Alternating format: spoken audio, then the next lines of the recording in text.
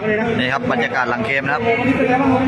เสือดามส.คงมีนะได้ได้ได้ตามที่ train มาก็โอเคเมื่อวานนี้ครับผมก็ต่อยก็ต่อยดีอืมก่อนก่อนชกกังวลอะไรไหมพี่ไม่ไม่ไม่กังวลเลยวันนี้อืมแต่ว่าเรามาดูนี่หนึ่งก็ไฟต์ที่เรามาแพ้น็อกไอ้มาท็อปอ่าโคท็อปโอ้วันนั้นเราต่อยต่ำมาตรฐานเยอะมากเลย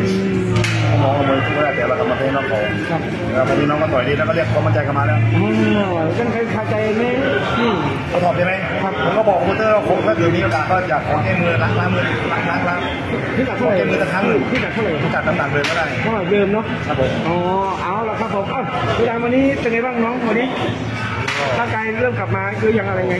ร่างกายก็ดีครับสมบูรณ์ครับอ่าไฟล์นี้เป็นไงบ้างไฟล์นี้วันนี้ก็โมยเอาชนะขอลูกพี่แล้วลูกพี่จะแพ้กันฮะวันนี้ก็เต็มที่ครับ ความมั่นใจมาเกินร้อยไหมตอนนี้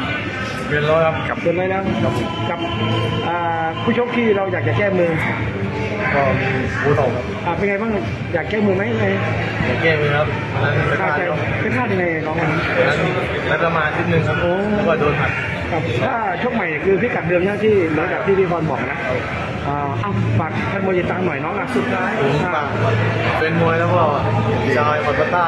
ชาวพัทลุงเป็นกำลังเชียร์กำลังใจแล้วก็เชียร์เชียร์ดามลงมือต่อไปครับ ครับผมโอโอท็อปนี่ก่อนหน้านี้เคยได้ชิงแชมป์อะไรบ้างไหมยังนะเป้าหมายเป้าไอเสือไอเสือดผมว่าน่าจะมีโอกาสได้ต่อยน่าจะทีความมีโอกาสำน้ำหนักน้ำหนักเท่าไหร่พี่พี่มอนอันนี้ต่อยได้เรา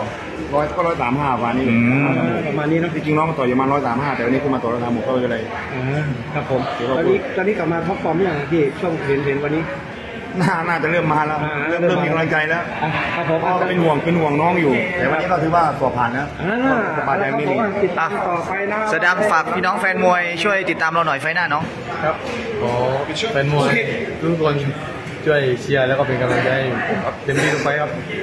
โอเคก็ขอแสดงความยินดีด้วยนะครับ เสือดาม ส.คงมีนะครับ แล้วก็พี่มอนทองสดนะครับ